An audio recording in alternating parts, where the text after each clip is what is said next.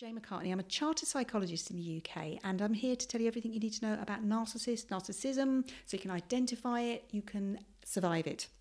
If I can get you to hit the like, notification, subscribe button, and the more people that find out about these videos, the more help there is out there for them. So, in today's video, I particularly wanted to talk about how to think like a narcissist. Now, the first question you're going to ask yourself is why the hell would I think like a narcissist? I don't want to be that person. And that's the difference. You are not being like them, you are thinking like them. And the reason that you would think like them is to be one step ahead of them.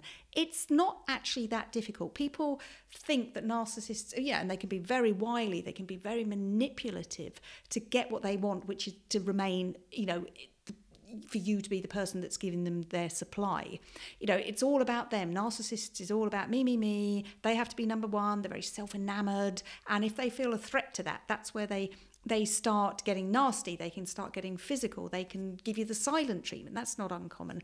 So being able to think like a narcissist will be a really good tool for you, and being able to predict what they might be like in certain situations, but not to acquiesce to them, not to give in to them, but just to kind of think like an, a, a narcissist will help you. Narcissists are essentially children, toddlers that have never grown up, and it might have been their circumstances that, you know, they were possibly brought up with a narcissistic parent, say, for instance, and that is modelled to them. Well, if it worked for mum, then it's going to work for me. And, you know, I see how she treated people and she got on all right, so I'm going to do that or they are terrified of being exposed as being vulnerable and weak. And number one agenda with a narcissist is I'm going to make you the victim because if you know somebody has to be the victim, and if you're the victim, then I'm not. And that's how they think.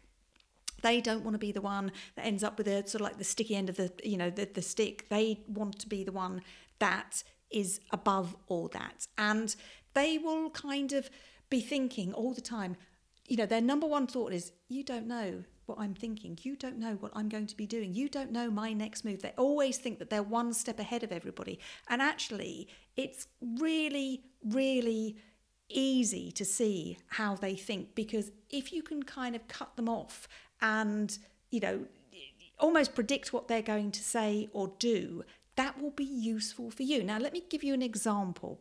Say, for instance, um, I'm trying to think about somebody that I um, dealt with in my consulting room, and this person had a, a problem with her father. He was a highly narcissistic individual.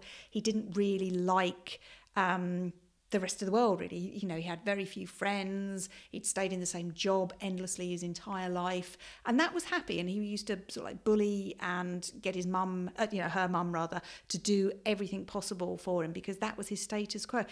Mum was kind of, oh, well, you know, it's all a bit too late. I've been with this person for 40 years. I think it's all a bit too late for me now. But this person, um, this, this lady, wanted that to change because she loved her mum. She really wanted the best for her mum.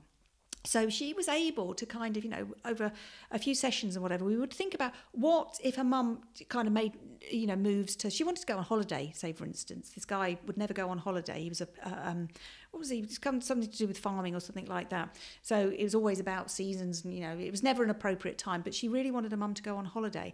But she started to think about how he would stop her doing that and what she could put into place. So when mum would then say, and she would say it with her, oh, you know, I'd like to go with my daughter on a um, you know sort of like a, a, a, walking tour or something like that they'd keep it within the country so she was always if necessary at a you know a phone call away um, long story short, she managed to get away. The mum really enjoyed herself. I can't remember, I think they went on a boating holiday or something. Anyway, I can't remember the absolute details of it.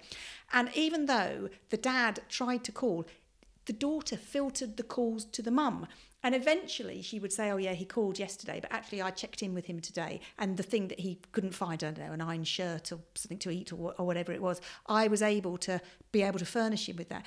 And when the mum got back, wow, did she get the silent treatment? But she said, it was kind of worth it because she'd had such a good time and she was actually outside of that space almost for the first time unbelievably in 40 years that she could start to think for herself. She could actually see that there was a world outside of this guy.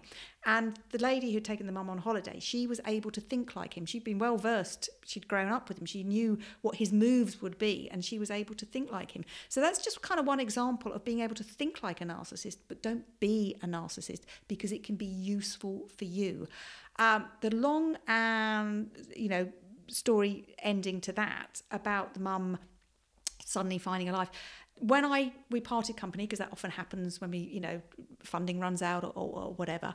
Um, Mum had actually started a little kind of part-time course not far away from from the dad but she'd started not a course she'd actually started working or something she could i think she was a trained uh, typist or something back in the day so and she'd gone to go and work and it you know, she didn't earn much money and but for the couple of afternoons that she was able to get out of the house that kind of was enough for her to be able to tolerate the, the dad. Who knows what happened beyond that? I, I don't really know.